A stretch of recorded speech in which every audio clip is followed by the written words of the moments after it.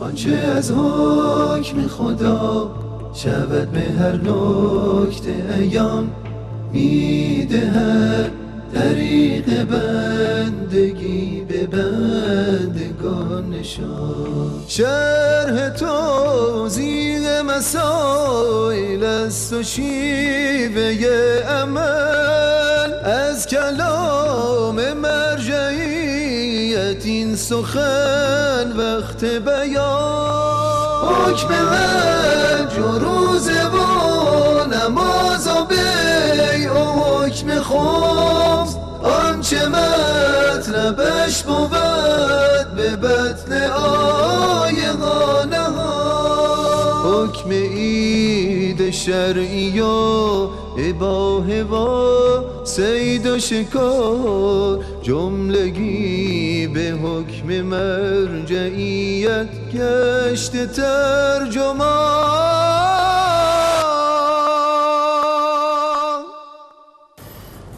بسم الله الرحمن الرحیم. السلام علیک یا صاحب الزمان. سلام روزتون بخیر دوستان و همراهان برنامه توضیح المسائل. تقدیم می‌کنم به شما برنامه توضیح المسائل رو از استودیو بین الحرمین و از کربلای معلا از جوار مدرع نورانی و شریف آقا سید الشهدا و آقا ابوالفضل عباس علیه السلام. امیدوارم که هر کجای دنیا هستید دنیا بر وفق مرادتون بشه و روزی بیایید زیارت به همین زودی ها برنامه امروز تقدیم حضورتون می‌کنم با حضور جناب استاد رفعتی و خوشحال و خرسندم از اینکه توفیق شد تا بنده دوباره در خدمت این بزرگوار باشه سلام علیکم. شما در خدمت شما هستم بفرمایید. در سلام علیکم و رحمت الله. اعمالتون قبول؟ انشاءالله که سلامت باشید. بسم الله الرحمن الله. اللهم كل وليك الحجة ابن الحسن. صلواتك عليه وعلى آبائه. في هذه الساعة وفي كل ساعة. وليا وحافظا وقائدا وناصرا ودليلا وعينا حتى تسكنه أرضك طوعا وتمتعه فيها طويلا وهب لنا رأفته ورحمته ودعاءه وخيره يا أرحم الراحمين اللهم صل على محمد وآل محمد وعجل فرجه.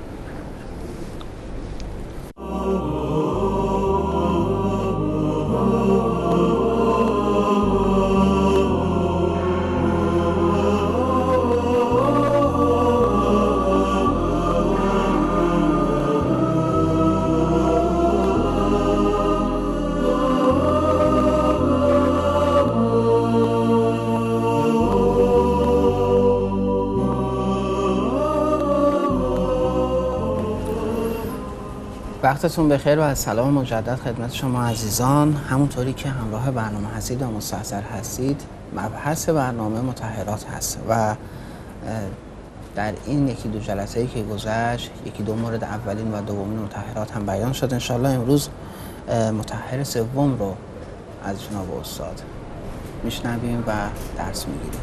بفرمایید. خواهش می‌کنم. متحر سومی که مرحوم صاحب عروه بحثش می‌کنن و بحث مهمی هم هست و مورد نیاز اینه که خورشید هم متحره خورشید هم می‌تونه مثل آب مثل زمین پاک کننده باشه. باز هم مثل آب شرط اول اینه که عین نجاست از بین بره. اگر عین نجاست در چیزهایی که الان میگیم وجود نداشت فقط متنجس بود با تابش نور خورشید اونجا پاک میشه و میشه مورد استفاده قرار بگیره. یعنی اون چیزهایی که شرطش طهارت هست می‌تونه این چیزها قرار بگیره. خورشید زمانی می‌تونه متحر باشه که اون شی غیر منقول باشه جزء منقولات حساب نشه. این لیوان منقوله این میز منقوله این دسته گل منقوله. این موبایل لباسایی که ما پوشیدیم اینا جزء منقولات حساب میشه. اما این دکوری که اینجا ثابت شده رو زمین غیر منقوله. این ساختمون غیر منقوله. این وسایلی که اینجا پیچ و مهره شده به سقف اینها غیر منقوله. پس مهم نیست حجم چقدره. حتی یه میخ کوچیکی که به دیوار فرو رفته غیر منقوله. همین میخ از دیوار در بیاد زمین بیفته میشه منقول. هر چیزی که غیر منقوله و مورد تابش مستقیم آفتاب قرار بگیره و توسط گرمای خورشید و نور خورشید خشک بشه اون پاک میشه. پس شرط اول این هست که غیر منقول باشه. سوال ماشین چی؟ قدیمی کجاوه ها که رو حیوانات میبستن اینا جز منقوله یا غیر منقوله؟ عرض شود که گاری منقوله یا غیر منقوله؟ ملحق میشه بعض چیزای خیلی حجیم ولو قابل نقل و انتقاله مثل ماشین مثل تریلی مثل کامیون. اینها هم ملحق میشه به غیر منقول. یعنی اگر یه شخصی با کامیونش گوسفند آورده. یه تشت آبی یه سطل آبی ریخت گوسفندایی که زب شده بودن. خونی بود بله. بار ماشینش. بار ماشین رو خوناش رو شست. ماشین زیر آفتابه. یه نیم ساعتی یه ساعتی که تابش مستقیم خورشید به این ماشین خورد ماشین خشک شد. عین نجاست نیست ولی آبش هم نکشیده. خورشید پاکش می‌کنه. سقف همینطوره پشت بام یعنی. دیوار خونه همینطوره. فقط من همین الان عرض بکنم شرطش اینه که باید مرتوب باشه. خشک نباشه. دیواری که خشکه عین نجاست بوده. شما عین نجاست رو تراشیدید رفت. خورشید به تابه با تابش خورشید پاک نمیشه. بله شما همین لیوان آب رو بردارید روی اون دیوار بپاشید. طوری که آب روی اون دیوار قرار بگیره. پاک نشده با این لیوان اون دیوار پاک نشده. فقط مرتوب شده. خورشید پاکش می‌کنه. تنابی که شما بستید تنابی که محکم شده درختها برگ درختها میوه درختها گیاهایی که رو زمین سبز شده ولو درخت نیست بوته است به اصطلاح نجس شده. دیدید تو این زمینه زراعتی حیوانهایی مثل سگ و اینها زیاد رد میشن. بله. حیوانات نجس زیادن. یعنی نجاست کاری زیاد می‌کنن تو این زمین های زراعتی. خب اگر یه بارون بیاد بارون خودش جز متحرات انشالله خواهیم گفت. اما بارونی بود که فقط مرتوب کرد. جاری نشد. خورشید بعد فورا تابید. زمانی که مرتوب بود خورشید خشکش کرد. پاک میشه. عین نجاست نیست. فقط مرتوبه متنجسه. یا ما خودمون با یه آبی ولی اون آب هم آب نجس باشه. این لیوان آبش نجس بود. ریختیم رو اون جایی که خشک بود ولی این متنجس بود. عین نجاست نداشت ولی آب نکشیده بودیم. خورشید بتابه. مستقیم و تنها خورشید. رطوبت هم داشته باشه. بنابراین اگر خشک فایده نداره. اگر خورشید پشت ابر فقط با گرمای هوا داره خشک میشه فایده نداره. مگر ابر به قدری نازکه؟ یعنی هوا شرجیه. و الا نور خورشید شما سایتون هم رو زمین می‌بینید. این اشکالی نداره. باد نباشه. فقط خورشید و گرمای خورشید باشه. از تو آینه نباشه. از تو آینه اشکال می‌کنن بنابراین اگر تابش مستقیم خورشید حائلی بین اون شی و خورشید وجود نداشته باشه یه پارچه چیزی تو خیمه است. فرش رو هم فرش و حسیر رو هم ولو جز منقولاته. خورشید پاک می‌کنه. اینم استثناست. فرشی رو شستن ولی دیگه آب نکشیدن. پهن کردن توی این فرشوری ها اینطوری. پهن می‌کنن تو آفتاب. بله. همه فرشا رو با هم شستن. ولی پهن می‌کنن تو آفتاب. خوش میشه. همش پاک میشه. عین نجاست رو با تاید و با وسایل اینا میشورن. اما برای آب کشیدن فقط چیکار می‌کنن؟ تو آفتاب پهن می‌کنن. اگه می‌خوان با دستگاه خوش کنن بعد آبش بکشن. اما اگر نه می‌خوان تو آفتاب خوش بکنن نیاز به آب کشیدن دیگه. نداره. عین نجاست که از بین رفت همون فرش خیس رو تو آفتاب بزنن پاک میشه. حسیر هم همینطور. به شرطی که ظاهرش و باطنش با خورشید گرم بشه. با گرمای خورشید. نه اینکه یه دستگاه تولید حرارت هم بگذارن. زمستون هوا گرم نیست خورشید خشک نمی‌کنه. خشکم بکنه ظاهر فرش رو خوش می‌کنه. از زیر لوله های آب گرم گذاشتن حرارت میده فرشا رو خوش می‌کنه. فایده نداره. داخل خیمه است. خورشید مستقیم نمیتابه. فایده ای نداره. مگر اینکه یه پارچه بسیار نازکه مثل همون ابر که عرض کردیم که اصلا حساب نمیشه مانع نیست. یا شیشه است. از شیشه رد میشه. شیشه مانع نیست. اشکالی نداره. اما اگر چیزی باشه که حائل حساب بشه فایده نداره. باید حتما با خورشید باشه. خب نظر حضرت استاد این است که اگر چیزی از اینها که اسپردیم با نور خورشید و گرمای خورشید پاک شد ظاهرش باطنش هم پاک میشه. اگه با همین حرارت با همین نور آفتاب باطنش که خب خورشید نمی‌خوره. بله. فرض بکنید یه زمینی یه نجس بوده. بارون اومده خیسش کرده. آفتاب که میتابه ظاهر زمین پاک میشه باطن هم پاک میشه. بحث قبلی راجع به زمین بود. زمین جز مطهراته. زمین هم گاهی اوقات خودش نجس میشه ولی راحت پاک میشه. همین که یه بارونی نمه بیاد آفتاب بتابه زمین نجاستش از بین میره و پاک میشه. خب حالا این زمین با نور خورشید ظاهرش پاک میشه. باطنش چی؟ این آب بارونی که نجس شد رفته داخل. حضرت استاد میفرمان اگر داخلش رو هم با گرمای خورشید خوش کرده باشه اشکالی نداره. اما یه وقتی نه داخلش با گرمای خورشید نیست. اگه در دو مرحله بشه چی؟ بعضی اشکال کردن. تو بحث قبلی هم صاحب عروه اشکال داره اما حضرت آقا میفرمان اشکالی نداره. مهم اینه که ولو تو دو روز این اتفاق افتاده باشه دیدید اگر هوای مقدار سرد باشه این فرش تو یه روز خشک نمیشه. نمیشه. ولی با گرمای خورشید خشک شد. یعنی شب سبب خشک شدنش نبود. سرمایه شب بادی که شب وزید نه با نور خورشید. چون معمولا مشکل خصوصا شبای طولانی تاثیر در خشک شدن این فرش داره. از این جهته که اشکال می‌کنن. اما اگه فرض بکنیم این فرش رو عقب یه ماشین گذاشتن ماشین هم با سرعت 400 500 کیلومتر داره با نور خورشید پیش میره. که البته خب باد می‌خوره اینم باز نمیشه تصورش کرد. مشکله به نتیجه که بگیم همش با خورشید و گرمای خورشید. ولی اگه بشه فرضش کرد بله اشکالی نداره. خب فرش خوش شد. زمینی که زیر فرشه چی؟ فرش حائله. گفتیم حائل باشه نمیشه. اگه فرش متصل به زمینه و خشک شدن زمین هم منتسب به نور خورشید باشه. نگیم فرش خشکش کرد بگیم خورشید خشکش یعنی کرد اون هم پاک میشه. این فرش که زمین رو هم از همون با همون نور خورشید یعنی همین. زمین رو پاک می‌کنه اسفالت رو پاک می‌کنه. دو تا فرش رو همدیگه افتاده فرش زیری رو هم پاک می‌کنه. گاهی اوقات انسان جمع کردن فرش برای زحمت داره. خیلی مشکله. خب این فرش رو میاره داخل حیات یه ظرف یه مقدار آب روش می‌گیره. به اندازه که این نجاست از بین بره یه مقداری هم اگر نیاز به کشیدن داره و شستن داره این کار انجام میده اما آب نمی‌کشه. امکانش نیست براش. آب اونقدر نداره. آب همه فرش برسه نیست. فقط مرتوبش می‌کنه. نور خورشید خشکش می‌کنه. همچنین هست وسیله های نقلیه همچنین فرش و حسیر همچنین زمینی که از ریگ باشه زمینی که از قیر باشه اسفالت باشه تمام. اینها. فقط شرطش اینه که باید حتما مرتوب باشه. اگرم مرتوب نیست میشه مرتوبش کرد. پس یکی دیگه از متحرات چی شد؟ خورشید. خورشید. خورشید به تنهایی می‌تونه. فقط شرط اولش این بود باید غیر منقول باشه. منقولات نه. فقط غیر منقول رو شرح دادیم.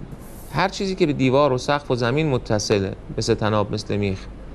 گیاهان درختها حتی اگه خشک شده باشن درختی که خشک شده بوته ای که خشک شده ولی هنوز متصل به زمینی کنده نشده. میوه که از درخت افتاد زمین دیگه میشه منقول. اما تا زمانی که سر درخته با خورشید پاک میشه. خیلی متشکرم. سلامت باشه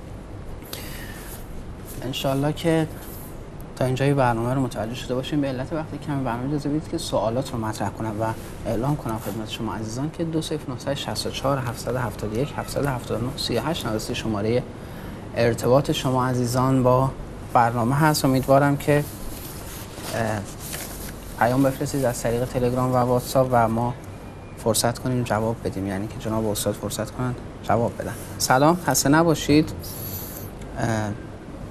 بنده از افغانستان هستم. دقیقا یادم نیست که از 13 سالگی یا 14 سالگی درست خبر ندارم که چقدر وقت شده روزه گرفتن رو شروع کردم.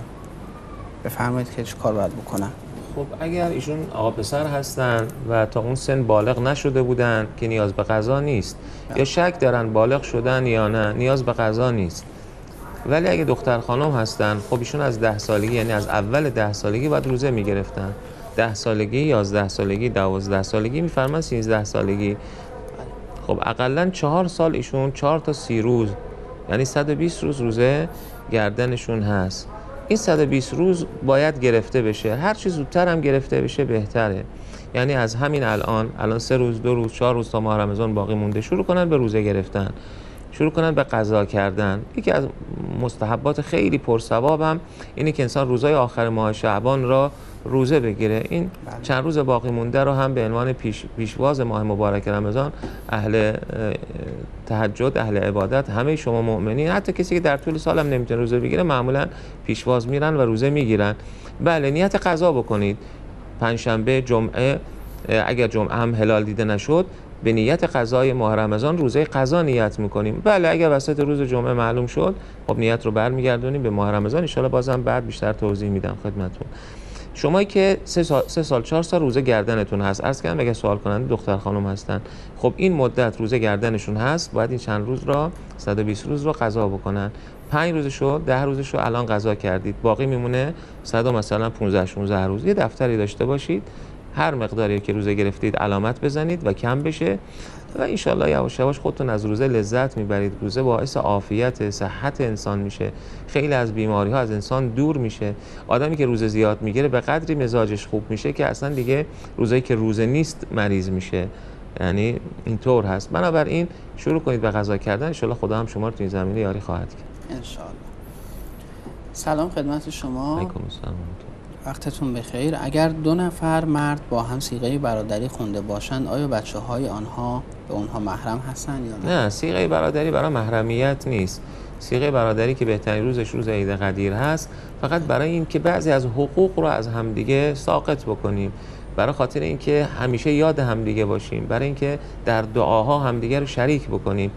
برای اینکه واقعا مثل برادر با همدیگه بوده باشیم. از نظر الفت و دوستی و محبت. بعد از از دنیا رفتن یکی دومی اونو فراموشش نکنه. اما آثار شرعی برش بار نمیشه. بله خیلی مثلا ارث ببرن بچه هاشون محرم بشن نه اینطور نیست. خب اجازه بدید که یک پیام هم از این طرف باسم که تقسیم کنم. سوالم اینه که من یک خانم هستم و می‌دانم برای اینکه جز یاران خاص امام زمان باشیم باید چهل روز صبح دعای عهد خوانده شود. از ولی من به دلیل زن بودنم و هر ماه که عضو شرعی دارم اصلا نمی‌تونم این چهل روز رو پشت سر هم انجام بدم. ناراحتیم. اینه. لطفا راهنمایی کنید. البته اینها مقتضیه. بله. یعنی چی؟ یعنی اگه کسی این کار رو انجام بده امید هست که جز یاران امام زمان علیه السلام در اصل ظهور باشه. ولی باید موانع رو هم برطرف بکنیم ها. یعنی حواسمون باشه. آدمی که به واجباتش خدای نکرده اهمیت نمیده. آدمی که خدای نکرده محرمات رو انجام میده. این مقتضی اثر نمی‌کنه. این توفیق ازش سلب میشه مانع پیدا میشه. یعنی این حجاب میشه بین او و بین امام زمانش. باید همه با هم دیگه باشه مقتضی باشه موانع مفقود بشه تلاش بکنیم در مسیری باشیم یاد حضرت باشیم تا انشاءالله این توفیق نصیبمون بشه. از مجموعه روایات دوستان اینطور استفاده میشه. کسانی در زمان ظهور یاران حضرت هستند. حالا یا اون خواستشون 313 نفر یا اون لشکر ده هزار نفر یا بقیه. بله. کسانی هستند که عمرشون به یاد امام زمان علیه السلام هستند. نه اینکه هفته ها و ماها میگذره همه چیز رو مرور می‌کنیم. جز اربابمون و صاحبمون رو. این نمیشه. طبیعی هم هست که این لیاقت نصیب من امثال من با این زندگی نخواهد بود. خب انشالله شما همیشه یاد حضرت هستید و دعا می‌کنید. از اینکه ناراحت هم هستید تو چند روز نمی‌تونید مثلا به تصور خودتون این خودش دهنده که یاد حضرت هستید. اما بدون بشارت بدم هیچ اشکالی نداره. در ایامی هم که عذر شرعی هست دارید دعای عهد رو بخونید. نیاز نیست از قرصی استفاده بکنید و خودتون گرفتار بکنید. نه. دعای عهد در ایام عذر شرعی هیچ اشکالی نداره. چلتون رو کامل انجام بدید. ولی دعای عهد اقلش چهل روزه. خوب انسان تمام عمر دعای عهد بخونه. مگه قرار نیست همه عمر یاد حضرت باشیم؟ خب اگر انشالله ازدواج کردید ایام حملتون هم شد زمانی یا شیر می‌دید در اون زمان هم عضو شرعی نمیشید. خب چه روز بدون عضو شرعی هم براتون ایجاد میشه.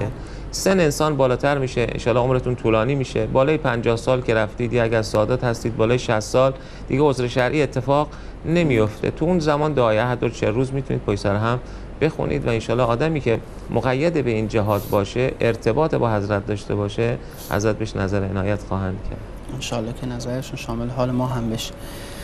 سلام اگر کار نکنم پول ندارم که عروسی کنم. اگرم کار کنم نمی‌تونم روزه بگیرم. عروسی سنت پیامبر است روزه گرفتن هم واجبه. من چه کار کنم با این مشکلم؟ خودشون جواب دادن. فرمودید ازدواج کردن سنت پیغمبرین مستحب ولی روزه گرفتن واجب.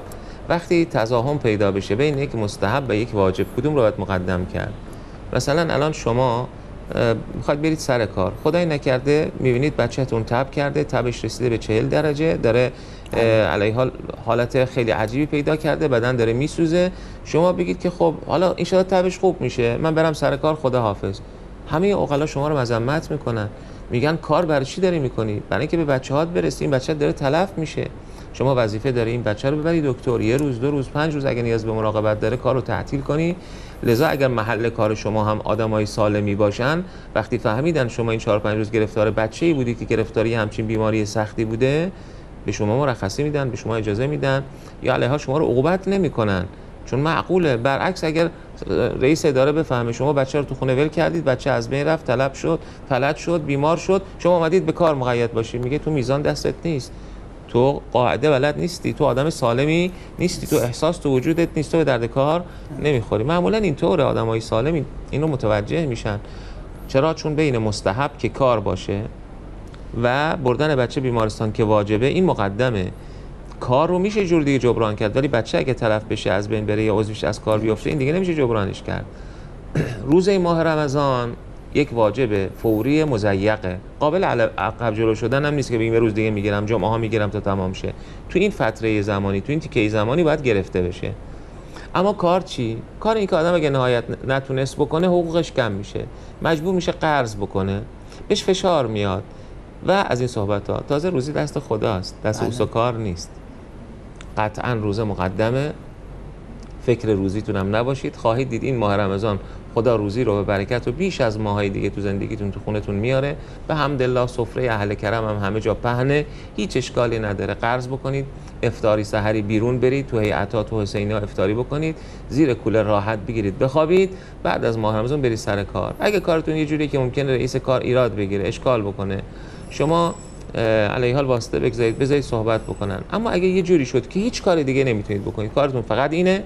و این شخص هم اگه شما رمضان نیاید این کار از شما می‌گیره و زندگیتون فلج میشه. خب اگه مستر شدید به این حد رسید یعنی کارم شد مثل ماه رمضان واجب مزیق. یعنی هیچ کارش دیگه نمیشه کرد.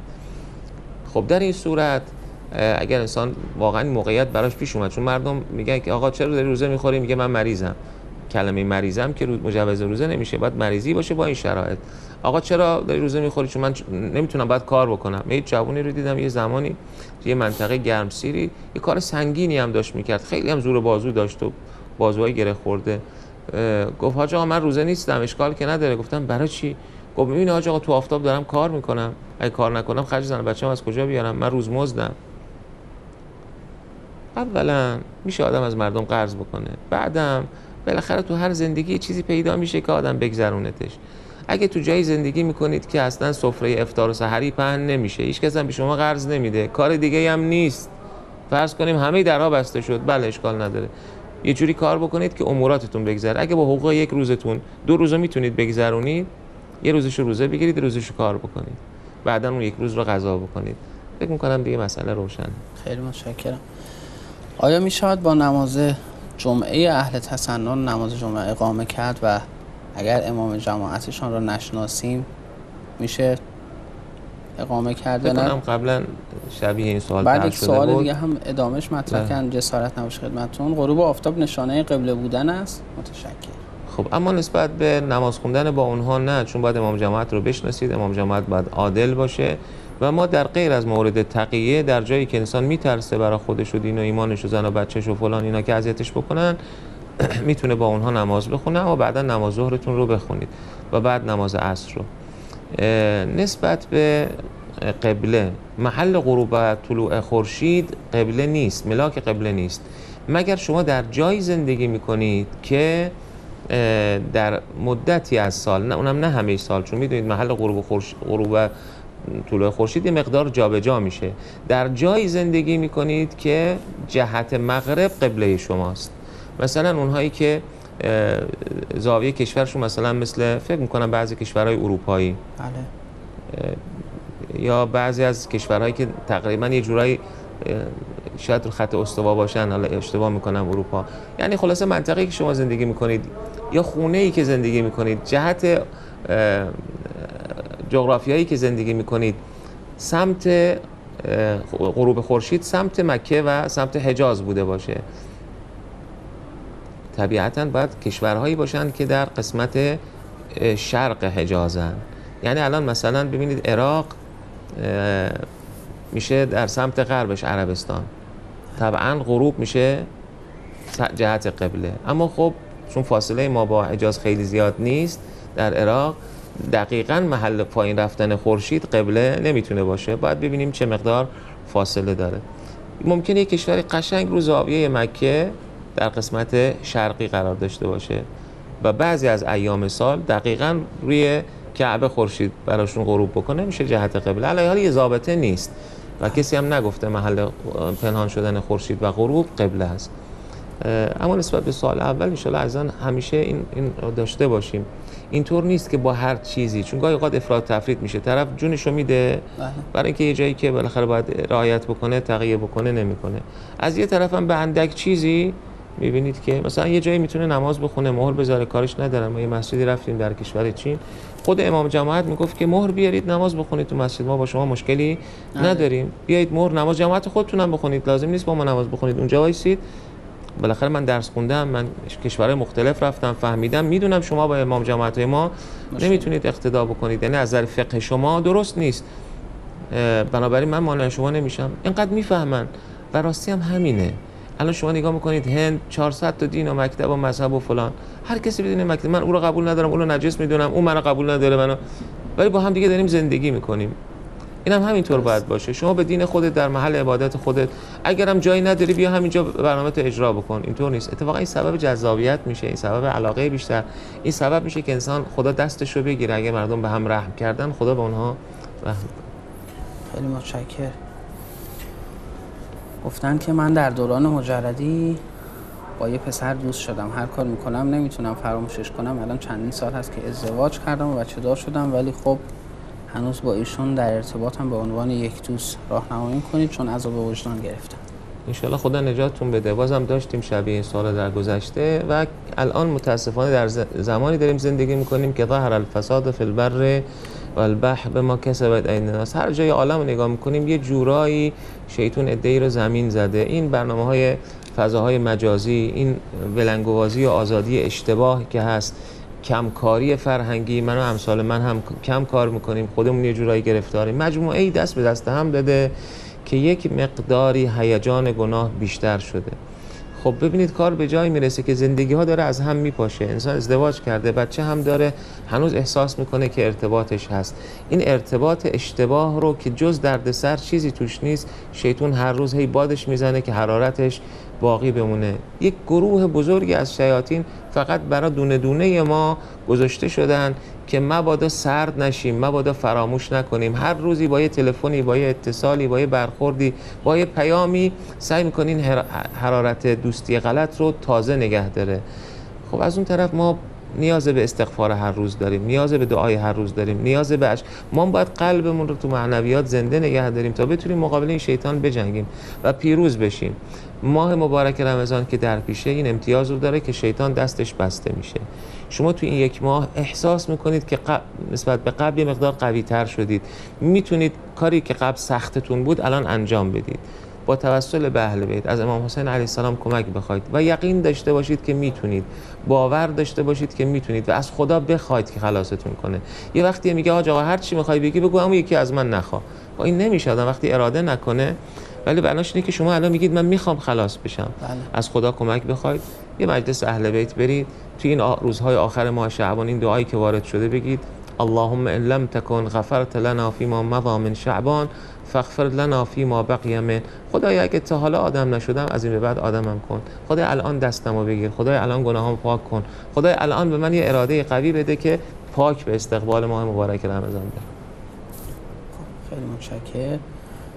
با سلام خسته نباشید کسی که روزه غذا به گردن داره آیا اگر در ایامی که روزه مستحبی ثواب داره و اون روزه ها رو بگیره به نیت روزه غذا ها ثبت میشه یا روزه مستحبی؟ باید نیت غذا بکنه و اگر نیتی دیگه بکنه درست نیست. غذا باید بگیره. بله غذا حساب میشه. خیلی متشکرم. سلام من و خانواده هم از بینندگان پراپاگورس برنامه خوبتون هستیم. خداوند انشالله توفیقتون بده حاج فرزندانم از من علت بوسیدن دست پدر مادر و بزرگان و عالمان رو پرسیدند بنده هم علت رو ابراز محبت و دوستی عرض کردم. ولی مثل اینکه قانع نشده. لطفا اگر روایتی منبعی چیزی داریم برای من و فرزندانم راهنمایی بفرمایید. باز هم ممنونم از برنامه‌تون. بله اجمالا روایت هست. البته اصل دست بوسیدن تواضع بلا شک مطلوبه. انسان برای پدر و مادرش تواضع بکنه برای عالم دین که اونها هم پدرهای معنوی ما هستن تواضع بکنه. این عقلی قلایی بله. روایات هم الا ماشاءالله داره. یکی از بهترین نوع تواضع تواضع برای پدر و مادر هست. تواضع همسر برای شوهرش هست. یکی از بهترین نوع مطلوب ترین تواضع ها هست. یعنی اگر جایز بود تو بعض از روایت که بندگی انسان برای غیر خدا بکنه امر می شدیم به اینکه بندگی بکنیم برای شوهر بندگی بکنیم برای پدر و مادر. بله. خب بله یه چیزهایی هست اینا در بعض از روایات مذمت شده. یکی از بزرگان علمای کتابی نوشته تو اون کتاب این صفات رو هم روایاتی که مدحش کرده مثلا بخل مثلا کرم مثلا ترس. یه سری روایات مدحش کرده یک سری روایات مذمتش کرده. هر دو تا روایات رو آورده. بله یک سری روایات داریم مذمت کرده دست بوسیدن را. اما یک سری روایات هم هست و فقها هم معمولا میفرمان اشکالی نداره. فقط باید انسانی که دستش بوسیده میشه اون هم مراقب نفس خودش باشه. اگر با این جهت مغرور میشه خودش رو گم می‌کنه احساس فرعونی پیدا می‌کنه نباید اجازه بده. یا اگر از نظر فقهی مبنای فقهیش خدا رحمت کنه مرحوم آقای مرعشی نجفی اجازه نمی‌دادن. حتی اگر کسی به زور می‌خواست دستشون رو بگیره مانع می‌شدن که کسی دستشون رو ببوسه. اما اگر نه پدر و مادر پدر و مادر اصلا با بوسیدن دست بچه مغرور نمیشن. اگه بچه دست پدر و مادر پادر پای پدر و مادر رو ببوسه فقط یک فوران محبتی میشه در دلشون یک جوشش عشقی میشه در دلشون که نتیجهش دعای برای فرزنده گوشه چشم پدر و مادر تر میشه و این تر شدن و بالا اومدن دست قوقایی تو عالم برای حل مشاکل من و شما می‌کنه. بنابراین به این فرزند باید گفت عدل و دلیلن بر اینکه یه چیزی خوبه اینه که شما انجامش بدید و ببینید آثارش رو. غرور نداشته باشیم اگر غرور نداریم فقط شبهه شرعی می‌کنیم علما اجازه دادن دست و پای پدر مادرتون رو ببوسید. بعد ازشون بخواید دعا بکنن براتون ببینید دعاشون چه قوقایی براتون تو زندگی ایجاد می‌کنه. دیگه وقت این سوال کلا از ذهنتون برطرف میشه. حالا من هر چی آیه و حدیث هم بخونم قصه از علما بگم اثرش به اندازه اینکه خودتون با چشم خودتون ببینید نیست.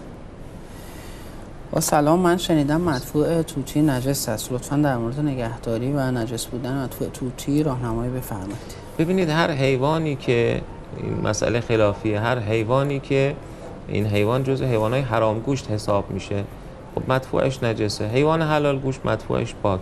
حیوان حرام گوشت مثل حیوانات وحشی و مثل پرنده هایی که عمدتا در فضا وقتی پرواز می‌کنن بال نمی‌زنن بالشون بازه. حالا توتی از کدوم قبیله؟ توتی انواع زیادی داره. اگر توتی حیوانی است که بال می‌زنه مدفوعش پاک. اگر نه نه. به غیر از اینکه بعضی از فقها فرمودن که کلا پرنده ها مدفوع نجس نداریم. کل پرنده ها مدفوعشون پاک هست خدا هست بله خیلی متشکرم. گفتن که دوست بزرگواری از اصفهان از حاج سوال داشتم و مثلا سر نماز نیت یادم میره. نیت نماز ظهر رو نیت عصر می‌کنم و بعد در حین نماز یادم میاد و نیت رو عوض می‌کنم. اشکال داره یا اگه تبدیل به وسواس شده اصلا محل ندید. نماز ظهر ظهر ادامه بدید. فهمیدید نماز عصر عصر ادامه بدید. چون شما نیت کردید. فقط شیطون میاد هی به شما میگه نه درست نیت نکردید. اما اگر نه شخص حواس پرتی داره اشتباه می‌کنه. قبل از نماز یه مقدار تحمل بکنید تا این حواس پرتی از بین بره. یا با جماعت نماز بخونید. یه مدت به جماعت بخونید خود به خود ازتون این حالت دور میشه. با تلویزیون نماز بخونید موقعی که میستن یا یک از این علامتی چیزی بگذارید که الان نماز ظهر این کاغذ نوشته باشه. ظهر کاغذ زیرش نوشته است. بله. نگاهتون که میفته می‌فهمید نماز ظهره. تا یه مدت که ان از سرتون بیفته و عادی بشه براتون. اما اگر نه یه بار این اتفاق افتاده همیشه نیست. خیال کردم نماز عصرم نیت کردم از متوجه شدم ظهر نیت رو برمیگردونم به ظهر و ادامه میدم نماز. خیلی متشکرم. با سلام و خسته نباشید خدمت حاج آقا و مجری گرانقدر. نماز والدین چه تأثیری برای پدر مادر فوت شده داره؟ یعنی خوندن نمازی به اسم نماز والدین. من هر روز نماز والدین رو می‌خونم. خب نماز والدین اگه منظورشون دو رکعت نماز هدیه برای پدر و مادر هست یک هدیه بسیار با ارزشه. اونها رو خوشحال می‌کنه در حق شما دعا می‌کنن که مفصل صحبت شده سابقا. اگه منظورتون نماز قضای پدر و مادر این از اولی بهتره. چون پدر و مادر اگه نماز قضایی داشته باشن کم کسی نماز گردنش نباشه. نماز قضاشون رو بخونیم. شما که بچه هاشون هستید هر وقتی وقت کردید برای پدر و مادر نماز قضا بخونید. خیلی موثره. بارشون رو سبک می‌کنه دینشون رو ادا می‌کنه دعاشون رو در حق شما خیلی خیلی مستجاب می‌کنه. ان که دعای همشون شامل حال ما بشه ان با عرض سلام و خسته نباشید سوالم اینه که من یه عمو داشتم رحمت خدا رفته. بعد با پول خونش بابام خونه گرفت. چون با پول خون گرفته آیا این خونه نجس بر ما حساب نه میشه؟ نه که مشکل دیگه هست مشکلی نداره. خب اگر کسی احتیاط داره و نمی‌تونه روزه بگیره باید چه کنه؟ خیلی دوست داره روزه بگیره. منظورشون از احتیاط متوجه نشده. اگر مثلا بیماری داره که روزه براش ضرر داره. دکتر بهش گفته نباید روزه بگیره می‌خواد احتیاط کنه روزه بگیره. این احتیاط نیست احتیاط اینه که روزه نگیره. چون اگه روزه گرفت روزش باطل هست. بعدا اگر تونست قضا بکنه. بنابراین احتیاط در جایی که طبیبی متخصصی جایی گفته روزه نباید بگیره در روزه نگرفتن هست. خیلی متشکرم جناب استاد. ممنونم از حضورتون. ممنونم از حضور شما در پای گیرنده و شنیدن جواب سوالات خودتون و بینندگان دیگر. اگر موفق نشید به پخش زنده و یا دیدن این برنامه می‌تونید از طریق یوتیوب و فیسبوک بیننده برنامه باشید. تا برنامه بعد خدا نگهدارتون باشه.